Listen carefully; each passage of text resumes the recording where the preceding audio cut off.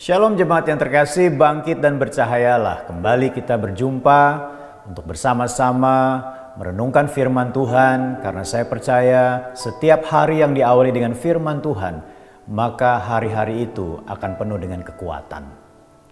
Kembali kita akan melihat bersama-sama dalam 1 Samuel pasal yang ke-15 ayat 1 sampai dengan ayat 35. Akan saya bacakan 18 sampai ayat 21 saja.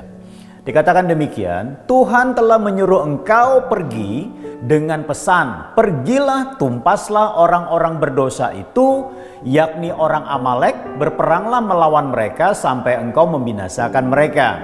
Mengapa engkau tidak mendengarkan suara Tuhan? Mengapa engkau mengambil jarahan melakukan apa yang jahat di mata Tuhan? Lalu kata Saul kepada Samuel, Aku memang mendengarkan suara Tuhan dan mengikuti jalan yang telah disuruh Tuhan kepadaku dan aku membawa Agak raja orang Amalek, tetapi orang Amalek itu sendiri telah kutumpas. Tetapi rakyat mengambil dari jarahan itu kambing domba dan lembu-lembu yang terbaik dari yang dikhususkan untuk ditumpas itu untuk mempersembahkan korban kepada Tuhan Allahmu di Gilgal. Saudara yang kasih dalam Tuhan, dari pembacaan ayat firman Tuhan ini kita dapat memahami dengan baik Raja Saul mendapat tugas dari Tuhan untuk menumpas bangsa Amalek dari raja sampai rakyat, dari orang sampai ternak. Semuanya ditumpas. Tetapi pada kenyataannya ketika mereka pulang berperang yang terjadi adalah agak Raja Amalek diselamatkan sedangkan ternak yang bagus-bagus disimpan dengan alasan untuk mempersembahkannya sebagai korban di hadapan Tuhan.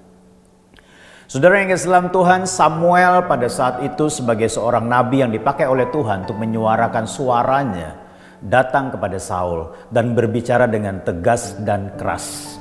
Saudara, kalau kita bisa melihat dan pelajari ayat firman Tuhan ini, tepatnya beberapa ayat firman Tuhan ini, saya percaya kita akan dapat menemukan persembahan yang terbaik apakah yang Tuhan kehendaki datang dari hidup kita. Nah saudara mari kita akan lihat bersama-sama hal yang pertama adalah lebih taat kepada Allah daripada kepada manusia. Itulah yang harusnya menjadi persembahan terbaik bagi kita. Apa itu saudara? Ketaatan. Karena dalam ayat 22 dikatakan, tetapi jawab Samuel, apakah Tuhan itu berkenan kepada korban bakaran dan korban sembelihan sama seperti kepada mendengarkan suara Tuhan? Sesungguhnya mendengarkan lebih baik daripada korban sembelihan, memperhatikan lebih baik daripada lemak domba-domba jantan. Kalau kita melihat kata mendengarkan di dalam bahasa Alkitab selalu berkonotasi bukan hanya mendengar dengan telinga kita, tetapi mendengar, menangkap, memahaminya, mengerti, dan melakukannya. Ketaatan ini menjadi sebuah persembahan yang terbaik bagi kita kepada Tuhan. Ketika kita mendengar kebenaran firman Tuhan, Mari kita cek baik-baik seberapa banyak firman yang kita dengar setiap hari, setiap minggu, setiap bulan, bahkan sepanjang tahun. Berapa banyak yang kita taati? Berapa banyak yang kita lakukan? Mari kita cek apakah persembahan kita untuk hal ini sudah menjadi persembahan yang terbaik.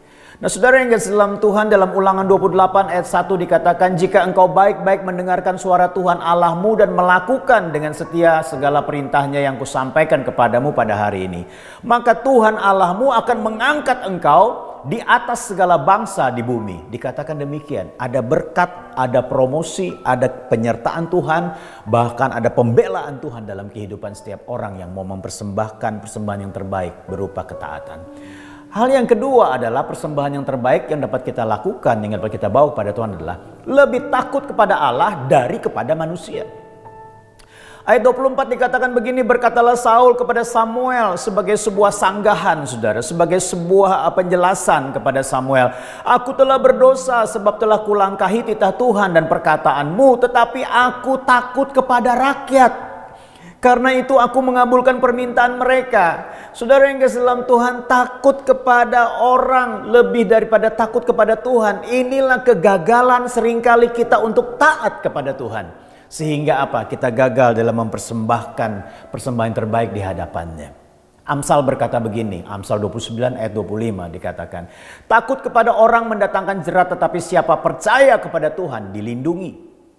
Ada satu ayat lagi saudara, ayat 4, uh, eh, Amsal 14 ayat 27 dikatakan demikian. Takut akan Tuhan adalah sumber kehidupan sehingga orang terhindar dari jerat maut. Artinya apa? Ketika kita lebih memilih takut kepada Tuhan, maka Tuhan melindungi kita. Ketika kita lebih memilih takut kepada Tuhan, maka Tuhan menghindarkan kita dari jerat maut. Saudara, mari bawa persembahan yang terbaik kepada Tuhan berupa taat kepada suaranya dan yang kedua lebih takut kepada Tuhan dari kepada manusia. Hormati manusia tetapi taati Tuhan di dalam segala kehendaknya. Tuhan Yesus memberkati. Mari kita berdoa. Bapa di surga, biarlah Tuhan kami boleh membawa persembahan yang terbaik sehingga kami boleh menyenangkan hati Engkau dengan ketaatan, dengan takut akan Tuhan Itulah persembahan yang terbaik yang dapat kami persembahkan kepadamu sehingga hari-hari yang kami lalui adalah hari-hari di mana Tuhan ada beserta dengan kami, Tuhan bermitra dengan kami untuk melakukan kehendaknya. Terima kasih Bapa di surga dalam nama Yesus kami berdoa. Amin. Tuhan Yesus memberkati.